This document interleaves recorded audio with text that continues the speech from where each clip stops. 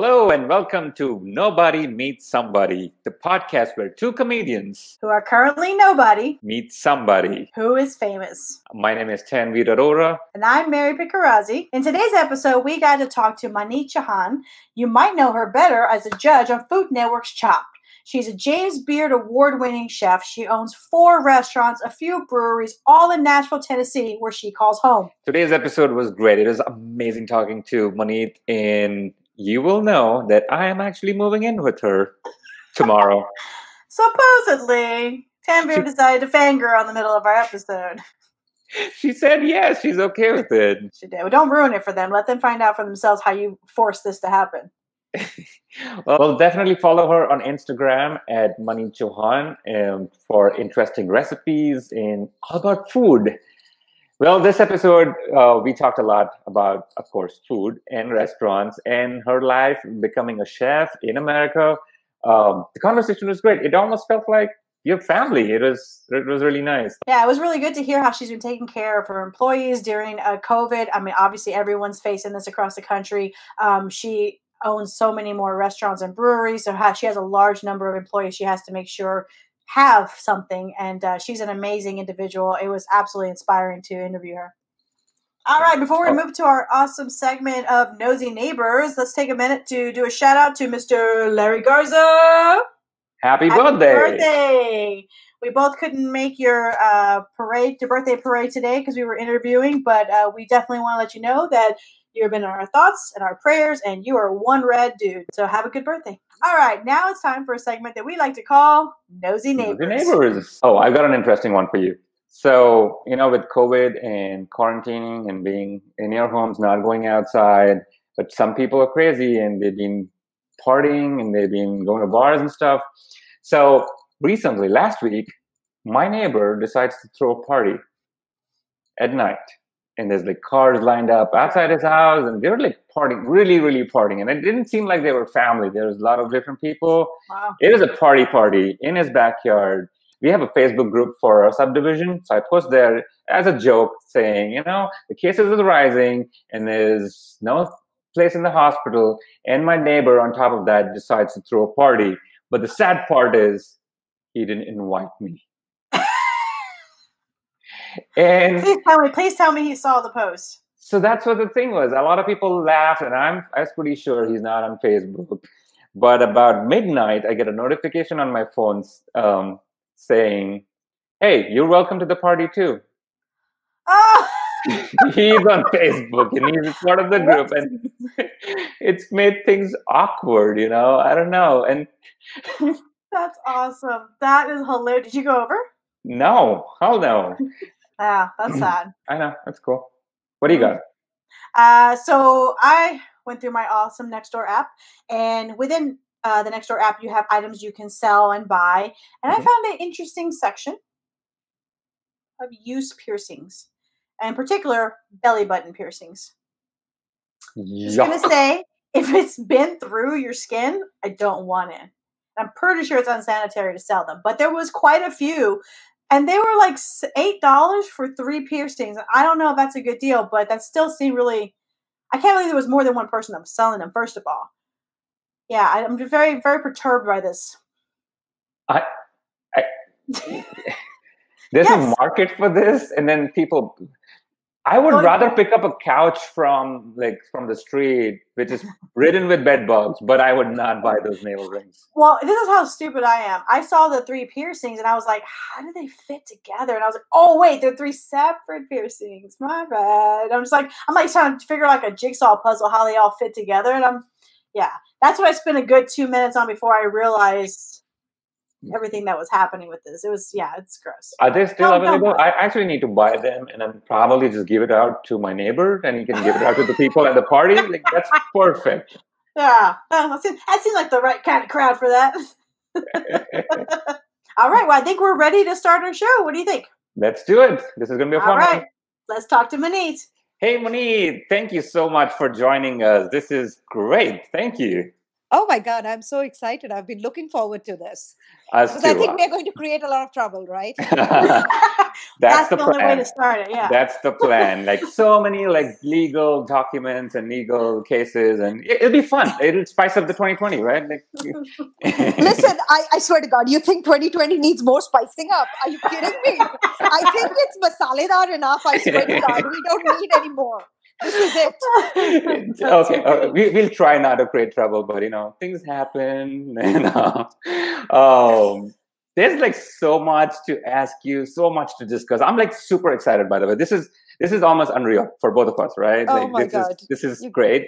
You guys are too Um, kind. Before we start, I did watch your Instagram uh, story. By the way, I stalk you a lot. You already know that. Uh, Yes. Somebody does finally.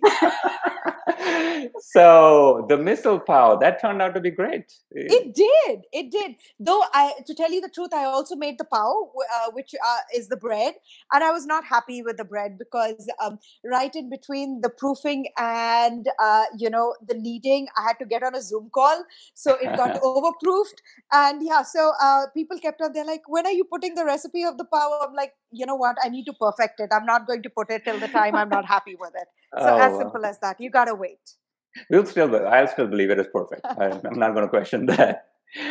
Um, so, okay, we'll start off with your childhood and how it all started. So, we read. Sorry, say that again. So tell us about your parents. That's fine. Oh, you started cooking at a really, really early age, right? Like really early, as compared to any other Oh normal yes, person. Yeah. Uh, was there even like an ounce of doubt that you won't become a chef? you know I mean in my mind it was always that i wanted to be a chef but then i also grew up in india uh, and this was I'm, I'm talking about 20 years back where the only two acceptable careers were to be a doctor or an engineer and we got up uh, i mean and you know i was brought up in a community where they were professionals like my dad um, he was an engineer so Mhm. everybody around us you know they were engineers and all the kids that's what they were working towards to be doctor or engineer. And over here i'm like i want to be a chef. And after you know um uh, uh, Tanveer, you would know what uh, you would know that there is a word in punjabi which is kamli which Right. means you are like crazy that that you could even think of that and and that's what my neighbors thought and i was i was very fortunate that my parents said that do whatever you want just make sure that you're the best at it so um, in a country where being a chef was barely acceptable being a female was barely acceptable i Mhm. decided that i wanted to be a female chef which was just not acceptable so um, I, I think that I decided that I wanted to be a chef more because of the naysayers, because there were Mhm. people like, you can't do it. I'm like, really? You're telling me I can't do it? I'll show you. So um, I think that's pretty much how it started. Yeah, so I'm Mexican American, and I am a firm believer that Indian culture and Mexican culture are so similar. Uh, growing up in, in with a Mexican American family, the kitchen is the central part of the family, and how you cook and the emotion you convey comes through. What kind of family traditions influenced you and kind of carry on through your cooking? Oh my God, Mary, you will so get this, right? I still remember each and every, um, you know, summer break or winter break, you know, we, we would be with our cousins and uncles and aunts and, um, you know, breakfast. What should we make for breakfast? Oh, okay. When we are having breakfast, the conversation would be, okay, what would we have for lunch? And during the lunch, we would be like, so what would we have for dinner? Like, our entire world revolved around food and that's and that to me is the interesting conversation right? If it revolves around food why isn't this given more importance to? So to me i mean food has been a very integral part be it cooking with my grandmoms and you know um i still remember my uh you know uh, my dad's mom when she would come to visit us during summer holidays and we had two mango trees in our backyard. This Yeah. is in india. And uh, i was not allowed to climb it because i was the tomboy and my mom is like you can't do that. And of course i never listened to her. But this was the only time that i was allowed to climb the trees because you know when dadi my my grandma would come she would be like climb the tree break all the mangoes and then we would you know i would pluck the mangoes and you know the one thing which i remember is that the sap of a raw mango is very like it can burn your face. And yeah. it's like really it's got a lot of acid in it. And i remember entire summer holidays i would have like marks all over me right? Who cares? And with you know we would um, take all the mangoes that we had plucked to our the um, to our uh, farmers market where there was this old lady with a really sharp knife. And when you're cutting the mango you have to cut it through the stone and the stone is very hard so you can't cut it at home. And um, uh, we would go my grandmom and me we would go we would have it cut then we would bring it back and then put it out in the sun on you know white bed sheets and then let it sun dry and then she would add spices to it. And my mouth is watering while i'm just thinking about those recipes right or every time we would go to punjab to see her she would like make she would make these amazing meat dishes right which uh, meat in india like we would have vegetarian and meat would be um, it's a luxury right? right? And she would make the uh, atta or the dough and then send my cousins and me with some money and the atta to the the corner of the street where there would be this guy who had a tandoor and he would make the rotis for us in the tandoor. And it just like the most incredible, uh, uh, you know, I mean, I could. I don't know how much time you guys have. I can spend like hours and hours just talking about my how much like you know my family and my neighbors and my friends influenced my my journey of food but you know what the most important uh, part for me was i realized very early on that food is one of the biggest connectors right, right. you can just connect with people over food and that i think is something till date which is why i am in food. It's like like even now right? Like the way you reached out to me like uh, over food and you know right. you've got these really funny instagrams uh, you know all these uh, and and we connected over food and that's why food is i think it's very important to me just because it's the biggest connector. It's it's the most honest connector on this planet I completely agree with that. Also, we got a lot of time, and if you want to make us something, we'll be really happy. and both are like, I really want to have aloo paranta with like my mango pickle right now. भाई breakfast में आलू के पराठे और side में mango का अचार with some dahi and homemade like the butter has to be homemade butter like you know that white makhan oh god it's like so good my mouth oh. is watering just talking about it. Mary, you want to just fly to Nashville? Like, I think I think things are better now. Like, there's no virus. hey, listen. Oh, some of my like my my friends just uh, like one of my team members just came back and said that he's never felt safer than he, when he was in the plane because everything was so he's like i feel safer on a plane than when i go to the gas station right around the corner and i'm like yeah knowing the gas station he goes go to i can figure it out but yeah I'm booking a flight. Uh, you'll be there tomorrow. Does, does that work? is coming right up. Okay, that's cool. Oh, don't, don't tempt him. He will do that. I will do it. I, I know. Done. So, if you if you weren't a chef, what would you be like? If this didn't work out, or if this, or there was no question about it, and suddenly died there's no option like i am i i became what i wanted to be but if i really if i really if it was something else i don't think that there is a profession which has been invented yet but i would be a professional jewelry wearer not designer wearer as a model, like somebody jewelry model. Just, uh, not even a model, like somebody could just wear jewelry and just live like in that, like as much bling on, on me as possible. That's awesome but um, so you did you graduated from CIA, not the not the FBI CIA, the other one. Um, hey, hey, the hey, food hey, one. Hey, That's your joke, by the way. Yes. Hey, b- by the way, just to let you know, there was an FBI at the CIA, which was the Food Beverage Institute at the Culinary Institute of America. Just to let you know. Wow. What, okay. I am nice. cooler than a chef. oh, but you you graduated, you got all your like top scores, but you did struggle uh, with sponsorship, which is probably every other immigrant's journey. I did I did the same. A lot of my friends struggled with that. How did that shape you? What what worked? What didn't? What what happened? I I think what it really shaped me. I mean. So um, till the time I was, you know, I did my undergrad in India and I came here to the CIA.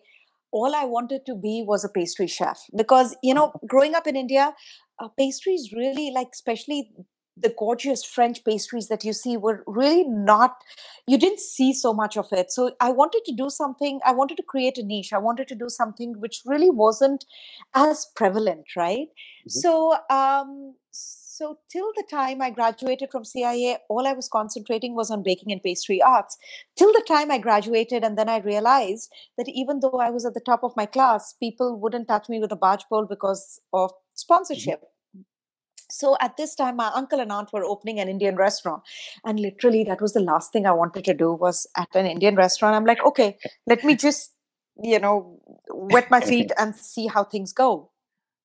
And boy it was such an eye-opening experience because you know when i came to the cia i was the only indian on campus for the majority of the time i was over there. Oh. and people were like oh indian food. And we went this is upstate new york. We went to the only indian restaurant over there.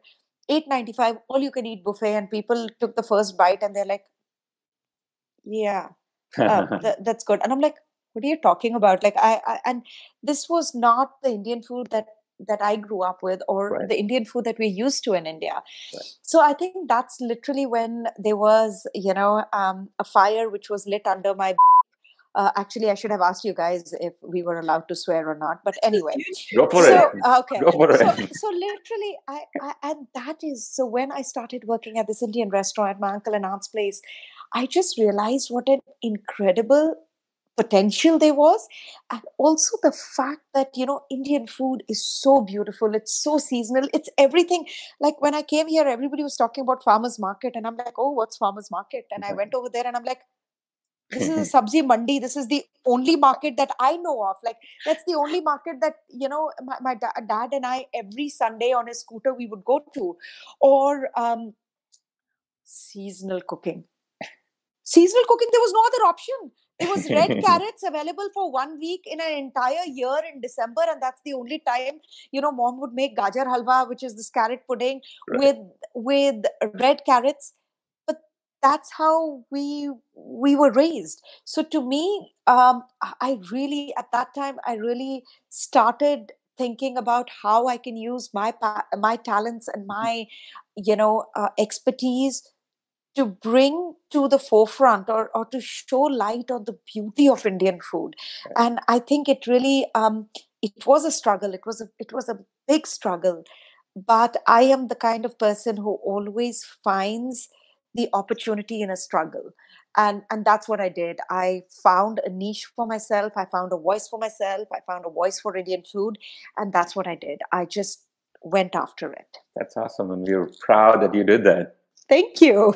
So that that go ties in perfectly with um, i want to bring up your ted talk. Uh, your mantra your mantra that is four simple words is exactly the way you approach it. Like you could have taken the situation and just completely you know, had an attitude about it, been difficult, but you turned it to a complete opportunity. Your mantra, those of you that haven't watched it, go watch it. Nothing ventured, nothing gained. That has gotten you exactly where you are right now. Um, how do you anticipate using that post quarantine? Oh my God. Uh, you know, Mary, it's so funny that you're saying this. Um, yeah, uh, my first email address ever was my Hotmail uh, account. And my tagline over there is nothing ventured, nothing gained, which I wrote I would say 99 when I got my first, e- I mean, like probably before you kids were born. And literally, I mean, literally it's it's been a mantra that that has you know there are some words that are empty words and then there are some words which are like they, they stick to you and this is what uh, nothing ventured nothing gained has been. It's like um i am a strong believer of jump in the deep you know jump in the deep end and you learn how to swim and it has worked for me. Uh, I I strongly believe that um, that there are opportunities which come in each and every aspect in life. You are stupid if you don't take it. What's the most that'll happen? You'll you'll you'll fail. Well, if you don't take it, you've already failed. Right. So to me, I'm like, you know what? Just just go with the flow of it. And there have been so many times that I've, I've, I've taken this opportunity, and it's not worked for me but it's fine i have never lived with the regret that what if and that i think is very very important But would you say you also learned from those instances that may not have been successful? You learned a lot more from those. Actually, to me, I think my biggest learning experiences have been from my failures, which have been a lot, uh, than from my successes. Uh, you know, when you get when something succeeds, you take it for granted. Um, and this entire COVID thing, like you know, it's not coming out of it; it is surviving it. Right? It's been it's been an absolutely emotional roller coaster. I can't tell you, like, especially when this whole thing started and we knew that it was going to hit us and I was mm-hmm. traveling. Um, you know, the fact that, you know, it took us five years to build your team. It's 250 people, and this is your family. Right. right? You, you're in this industry and this is your family, and the fact that you've got to, you know, let them go and you don't know if you'll be able to get them back and it's this profound sense of loss the fact that you've built something and then you just have to let it go um, the fact that your entire team is so understanding like they were like yeah we understand. And i'm like no i just need you to swear at me. I need you to tell me like you know fuck off. Like you know I, I need you to swear at me. But i don't want you to be understanding because eh, you feel you know you want that anger in you. You don't want that anguish in you. And and and just surviving covid i think is going to be one of the biggest accomplishments that all of us are going to go through. Because on the other side you know that you know that you're going to succeed. Right now we have no freaking idea what's going on. The fact that we've opened everybody is coming and you know there uh, there are lines and we are following the instructions and then boom the cases are going up. And the thing is that we are so used to being in control of our lives and covid has made us realize that we are very vulnerable and we are not in control of anything is what is the most frustrating part for me and for a lot of people who are you know type a personalities. Right. Yeah it's, it's been it's been super hard. I, I can i can't even imagine the situation that you were in to let people go and then because yeah you're right they become part of your family and then it just it's super weird. It's crazy. I mean i one of my friends like really dear friend of mine who's a chef uh, uh rally chiti kumar um, like there was a day that we were literally I, I, was in my closet. I locked myself in my closet with my pillows and a glass of wine and we both are texting each other photographs of us drinking and we're like what? And then right. after after an hour like you know the kids are like mommy are you okay? And i'm like okay. And then both of us yeah. were like okay this is it. We've done it. Yeah. we've indulged in self-pity. Get up and go out. There's so many people who are relying on you and just come on like just you know step up step right. up because so you, you owe it for those of you that aren't aware, obviously, um, you own four restaurants, a variety of breweries. Um, you've recently had to have the conversation a lot of restaurateurs had to have with their staff um, and letting them go and, and them, of course, understanding. But you did something pretty significant with your staff. You opened your pantries, you opened your fridges, and let them take as much food as they needed for their families. And that speaks volumes. You know what? I don't think it speaks volumes. I think as as um, anybody would do that. Uh, you know what? We are. To me, I think one of the biggest things was that um, we are in the food industry how can people who are working with us um, even think about facing food insecurity right i mean growing up in india i've seen food insecurity you, you see it on the streets right over here it's not as prevalent over here but it does exist over here right? And and we've been working so hard.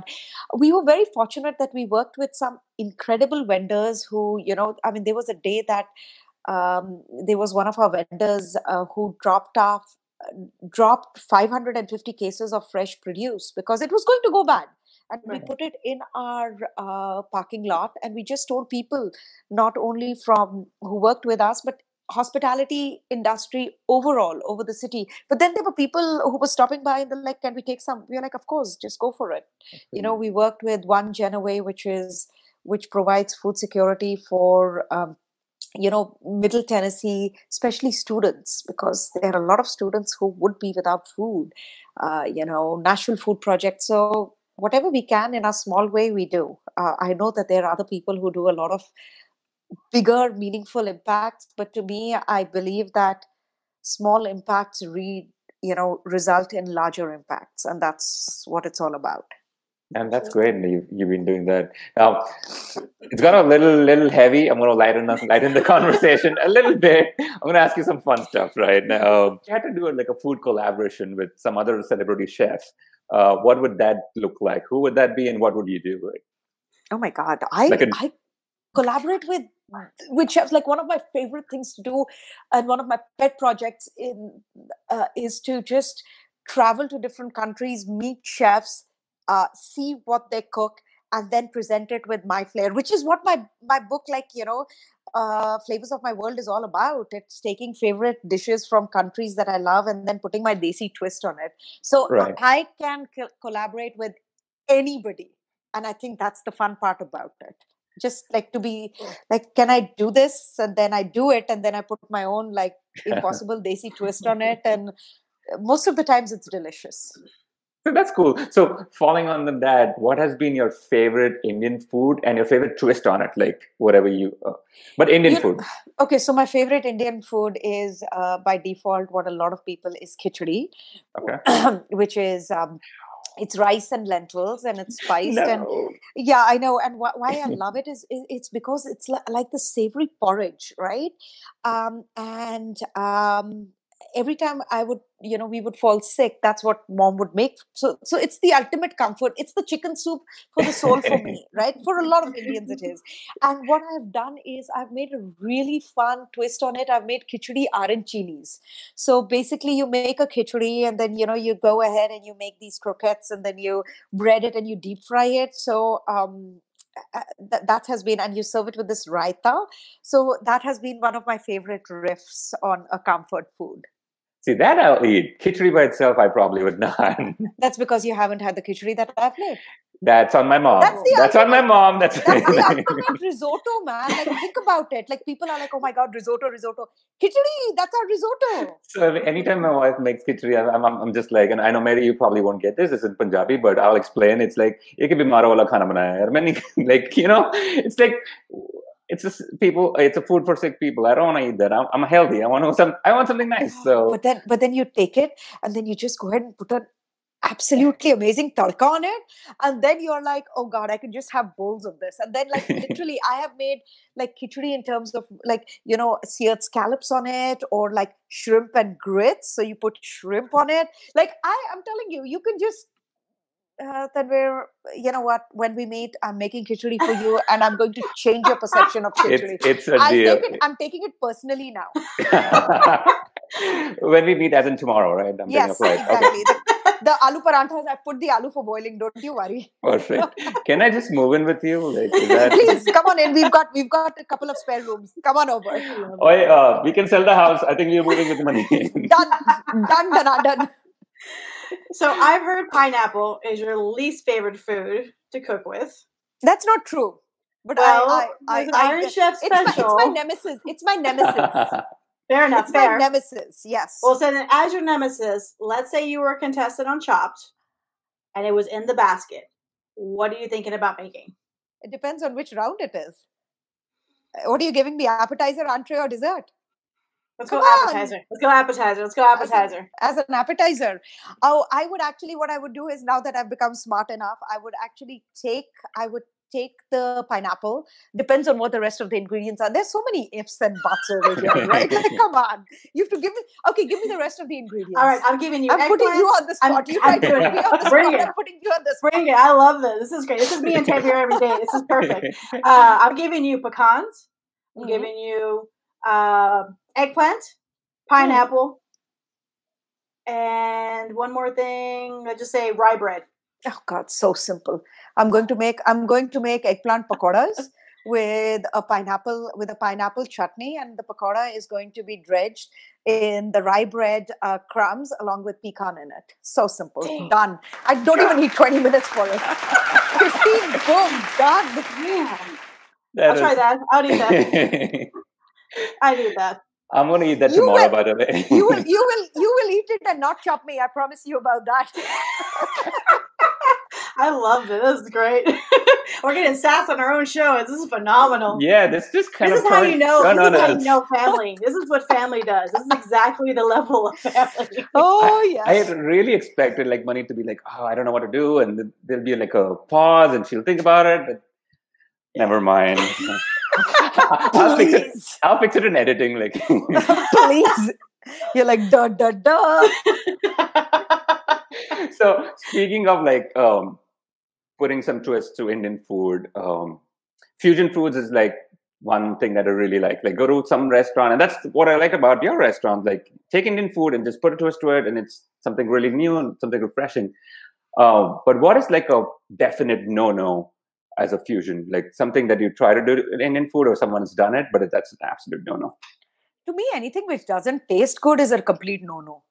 Right? like Oh. you know, when you're when you're intentionally trying, you know, there are some things which are uh, which are fun, which are witty, but at times they are things which just don't make sense. And most of them are things that I have tried because I've tried pretty much everything. I tried, okay, I tried, you know, I'll tell you what is this the stupidest thing that I've ever done is that I tried to do, you know, a bagel and lox. Okay. I I tried that with medu vada. Don't try it. It is disgusting. Like just to let you know, um, which is like the savory donuts. So um, you know, if there's something stupid out there, I pretty much have tried it, and I um, I, I'm I'm. I'm actually blessed that I have an incredible team around me, um, and uh, my husband Vivek is one of the the harshest critics that I ever know. Uh, he doesn't, you know, he pulls no punches. He's like, "Yeah, this sucks," and and and I probably I'm like, okay, I won't talk to you for two days uh, while I'm nursing my ego. I'm like, what do you know about food? And I'm like, dang, he does know. We went to the same school, so so yeah. Um, but uh, but yeah, I've there's so many there's so many things.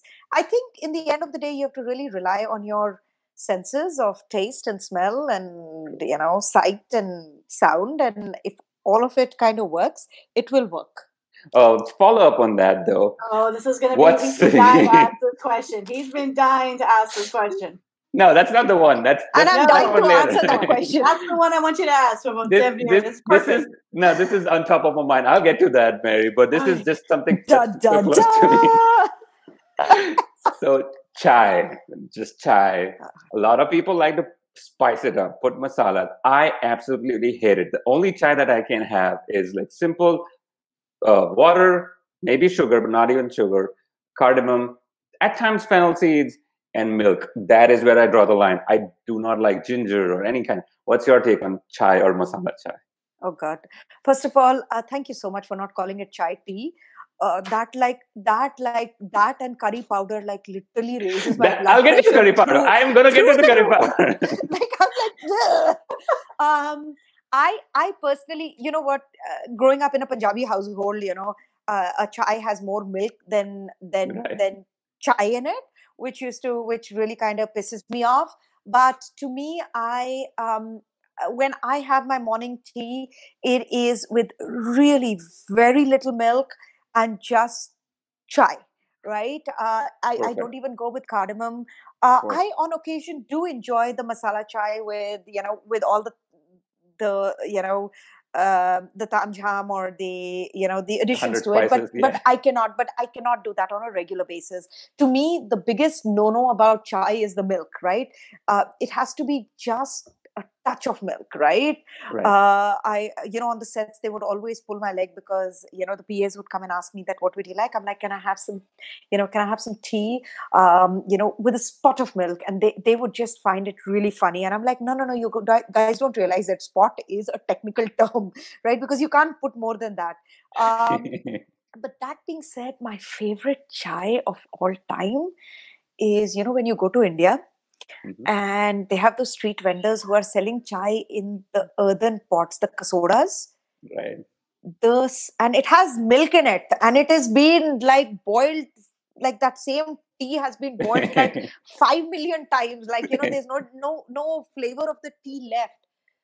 But that hot tea in that earthen pot, that smell of the earth is just a, a, a flavor that as a chef as much as i try to recreate i'll never be able to recreate it's just incredible.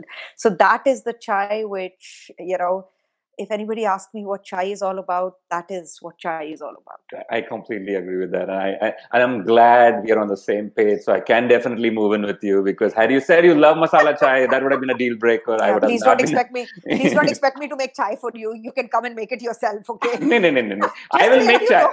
Just, just adopt me. I'll, I'll, I'll do. I'll, I'll clean the house. I'll do every, anything and everything you want. I just Clean don't the want to house, work. done. Done. um, I'm at, can we just hold on for five minutes? I'll book my tickets and all that right now. So that's, that's official. done. Absolutely. no, I'm glad you said that. And now to the question that Mary wanted me to ask, which is like, Dun, dun. Da da da. so the curry powder. And I back to what you said sometime back, like Indian food, the perception being just curry and naan. And to me, that kind of boils my blood. I get angry. It's what I don't even know what curry is, right? Um, so I'm glad that you and a lot, a lot of other chefs are kind of changing that perspective. And one thing that I, when I came to this country, and I didn't see this that often that I used to see it in India, I want to actually normalize paneer as the vegetarian's protein. Like, and anytime you go to an American restaurant, it's either mushrooms or something else. That's if you don't have meat, there's no paneer. My agenda of this life is to normalize paneer in America. Uh, is there something that you have uh, that you want to normalize or you want to change apart from of course that indian food not being curry You know, I, I think this is something which has come with um, which has come with time. The fact that normalizing Indian food will happen, right? Yeah. It it hasn't happened so far. There is that 895 all you can eat buffet, which is Indian food, which it's not, which you know, which I know. Yeah. But normalization will come with time. It will not happen today. It will not happen tomorrow. Okay. They are people like you, like me, uh, Mary, if you like Indian food, hopefully like you, who are going to normalize it, right? Um, you know, think about England, right? England, um, Harrods has chicken tikka sandwich. Yeah. Harrods, chicken tikka sandwich, right? Right. Just think about just think about the placement, right? The um, the the guys who sell the newspaper, the newspaper kiosks, Mhm. they sell samosas, right right? Right. Um, chutney is is a normal like it is it's not out of the place right it it is a part of Mhm. um i mean butter chicken if you think about it or sorry chicken tikki masala right is something which is people people say that it was it was it was invented in, in england right? Right. because england does have a history with india right? And i think that with the number of chefs who are coming over here we are normalizing it. We are normalizing the fact that indian food is um, you know you, you see small you see indian ingredients which are making their place in mainstream american cuisine. And and it'll take time. I mean come on you Right. get sushi in a gas station though of course i wouldn't recommend anybody buying that but the fact that sushi has been normalized or adopted so much in mainstream American cuisine that it's in a gas station, Right. think about the profound impact. So um, I'm hoping that you know uh, my kids or their kids, you know, um, eh, don't don't face with uh, uh, you know the question of chicken tikki marsala Okay. do you know the number of people who come to the restaurant and they say that can we have chicken tikki marsala and i'm so oh fortunate that i am uh, surrounded by smarter people than me who um, because there are times where i'm like this is it next time somebody asks for chicken tikki marsala i will take a piece of chicken put masala sauce on it and a tiki sauce a, a tiki umbrella and i'll send it out and then no, no, no, no, chef, chef, chef, chef, chef, chef, okay dial back dial back right but in the end of the day to me the fact that they have made the effort of coming and trying food at an indian restaurant a lot of people who've never tried it before i need to give them credit for it. And it will it will not happen overnight i promise you. It is going to be one person at a time and one chef at a time who's going to convert everybody um, and it'll take time that's what it is uh, you know they are i mean come on like i had a misconception of american food when i came over here. I thought it was all you know what archie like what jughead had like everything was pop pop dates and you know that's what hamburgers and hot dogs were all american cuisine. Right. all i wanted to do was eat a twinkie in my life because i had seen it and then i came here and i'm like no american cuisine is so much more i had no idea about creole i, I mean it's all about awareness it's all Right. about awareness Right. Like I'll have to go to our comedy club and have samosas. Like I've been telling them to just can you just just buy frozen ones and serve that. I for me, it's easier. it'll happen It'll it'll happen. happen just give it time So traveling is a huge part. You've already spoken about how it really influences your tastes. And what is the probably the most bizarre travel experience you've had? uh, I don't know if you'll talk it. I mean, if you'll call it bizarre, but um, you know, a couple of years back, actually around this time, two years or three years back, we were in Peru, um, and uh, I had gone. I was working with American Airlines, so we had gone for a project, but we tagged three days in front, and we were like, if you're going all the way to Peru, we've got to do Machu Picchu. So it was uh, Vivek and me and two of our friends, and we landed in Cusco, and we went to Urubamba, which is like you know, it's the holy, it's a sacred valley and we reach Urubamba, and of course, like from Cusco to Urubamba, there are four of us, and I mean, I know you guys will be surprised, but I was the only person who was talking, while the rest of these guys are like literally they're going green on their gills because it's like it was the altitude sickness, right? And I'm like blah, blah, blah, blah, blah, blah, blah, blah, right? And of course, we reach Urubamba, and like you know, uh, these guys, and I'm still talking, and and you know, I go to the restroom, and I am sick. I throw up, and then I'm like, okay, what do we do now? And they're like, we're going to take a nap. So I, I'm like, okay, I am here in, you know, in, in Peru. I can't go to sleep. It's such a waste, right? So I just walk over to the the local mercado, which which just reminded. It was a village, and it reminded me of a local like farmers market. And I'm walking over, and people like they haven't seen many Indians, so they thought I was from Ecuador. So they're trying to speak to me in Mm. Spanish, and the only Spanish that I know is not fit for polite you know, company. it's not. So, um, so I'm like talking, and you know, uh, let's say after like half an hour or so, Vivek found me. I was selling potatoes with this old Peruvian lady while we were making these Peruvian versions of aloo tikkis, which are these croquettes. And she just like I was just walking by, and she just reminded me of my grandmom, and we just started talking, right? And I don't even know what we spoke, but I'm sitting with her, and I'm we are selling potatoes, and I'm making these aloo tikkis, like these potato croquettes. And again, it just reminded me, it was a very humbling experience because it reminded me that food is a conversation that even if you don't have, if you don't know the same language, you can still have a conversation over food. And it was just, it was just very, very endearing. It was just incredible. Um, and yeah, just, you know, and then of course, when we were in, when I, I went to Brazil, to Sao Paulo, like, you know, we went to Dom, which is one of the most incredible restaurants and I'm eating ant, and like the server is like the ant. It it it tastes like it's an Amazonian ant. It takes it tastes like lemongrass, and before I'm eating it, I'm like, yes, man. Like, and I eat it, and I'm like, oh god, this actually tastes like lemongrass. So so yeah, I mean. But uh, but I'm the kind of person if I if you if you leave me even at a country like fair over here, I will I will discover something which which will blow my mind and I will be so fascinated. I'm like, oh my god, what hmm. deep fried butter? Wow. That's So, yeah, awesome. that's that's me. That's me. So restaurants, and you own like a bazillion of them, and probably probably more. What's who's what's been the most memorable customer, and what's been the most worst customer you had?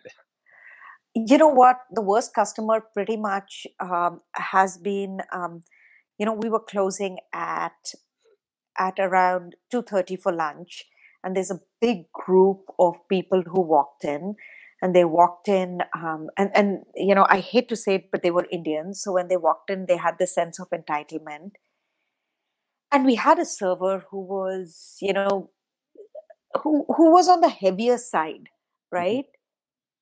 And they were they were so rude. They they made it like they called like they called upon the fact that she was on the heavier side. And that to both vivek and me is unacceptable you are coming to our house and you think that you can disrespect anybody who's a part of our family we literally we asked them to leave. It was a big table. It was a table of 20 and we are like no you are not disrespecting anybody who works with us. They're not working for us. They're working with us. So we asked them to leave and and that is something that both vivek and i have been very very clear about that we are never going to compromise on the dignity of the team that is working with us. And we will never do that. So that was one of the you know and we've had a couple of those right? Um Right. the best customer taylor swift. I'm just kidding. I mean like i had to throw that in right? Oh my Oh, god but kelly clarkson taylor swift. I mean they are such incredibly down to earth people Nice. right kelly clarkson she came for lunch and we was we were talking about poopy diapers. But that is it. I mean it's like just you know in the end of the day you realize that you know humanity is is the most precious thing. And somehow some somewhere along the way people people forget that everybody who's out there no matter how big they are in the end of the day they are human and it's a human interaction which matters the most That's true. I was almost hoping uh, I'll be the worst customer, if not the best one, but it's okay. I mean, Taylor Swift, Swift beat me to it. It's okay. It's it's it, it's fine. you live with it right you Yeah, live I'll- with it I live with you. That's the plan. done done absolutely i'll go and start like uh, prepping the room All Yes. right. Before we tell get me at five o'clock when the kids come and they're like, "Good morning." It's high maintenance. Don't do it. Don't do it. So Food Network, and you've been associated with the Food Network and Chopped. And so when you are with your family, uh, with your kids, uh, with your husband, and you put on the Food Network, and it's you uh, judging the contestant, how does how does that feel uh, to watch yourself, and how does how do your kids feel? Like, oh, she's she's she's there, and she's right here as well. Is it like very weird? You know, there's that there is that Hindi saying which is like "Ghar ki murgi dal barabar," okay, which is like you know what um, translated it is you know chicken um, a chicken dish in India was considered like one of the most like upscale dishes like you would have it at special occasions only and dal is something that you would eat every day. So basically you know the chicken dish that you have at home is as good as the dal. So that's basically what it is in you know um, and a lot of the punch gets lost in um, translation. But yeah they're like yeah whatever. Like sure. They're, i'm like look i get the mo- i think i am the most excited. I'm like look mom mommy's on tv they're like yeah you are right over here also like so what like whatever like yeah so um they don't i think when they when they are really really excited is when one of their friends Um, recognizes Ah. me. They're like oh we saw your mom on tv and they're like yeah yeah okay. Or um my daughter she's hilarious. Uh you know she is uh, she thinks she only cooks because she is under the impression that sh- there's a camera on her all the time so uh so that's why that's how she behaves but that's yeah it's it's just it's hilarious it's like that that's the entire thing they are like yeah whatever See, that will change once I move in. It's gonna be like ah. yeah yeah yeah about it. So. yeah absolutely All right. Uh, Thank you, Harry, you Brad. want to ask uh, the last question and we conclude? Yeah, well, I actually had a couple questions. So we need to talk Oh, about oh, upcoming, ahead. pro- upcoming projects. I know you have a book coming out. Is it in October? October 6th. Uh, It's Awesome. called Chaat, and it's available for pre-order on Amazon. So yeah, the that was my two-second shape, uh, shameless. Well, no, pitch. this, let's do the whole pitch. It's Chaat recipes from kitchens, markets, and railways in India. So, um, I'm super excited about this book. We've been researching you, obviously, but that book looks amazing. How many countries did you go to? Uh, it is so gorgeous. We actually went to India. Um, this is it's dedicated to all the street vendors in India who provide the most delicious and memorable food. And the book, even if I say so, has so much movement in it. It's so organic. It is like going to India. So I am. I can't wait. I, I'm so excited. I can't wait for you guys to like just see the book. It's beautiful. Oh, it's going to be great. That, that comes out October 6th. Oh, thank Some- you. Thank you, thank you, thank you, thank you, thank you. Your order has been placed. All right. And beer. Could you seriously get it Yes. together, man? He's I fangirling so hard. Move in it. That's- Please, I can live with that. It's doing wonders for my ego, man. I, say, I swear to God. So, but we want to definitely thank you so much for coming on the show. Um, it's been a complete honor to have you. Before we we have we ask one last question. Um, so, when someone Google's you, what do you want your autocomplete to be? Maneet Chauhan, badass female chef. I'm pretty sure that comes up already, so I think you got it. Oh no, you know what comes up? Maneet Chauhan weight loss. Maneet Chauhan husband. Uh, yeah, Maneet Chauhan Height, height Height. comes up too. height. Height, Yes, yeah. yes, that also comes up, and you're like, so I just don't, I don't do that because then it, it really crushes, like it's crushes my ego. So yeah, that's what it is.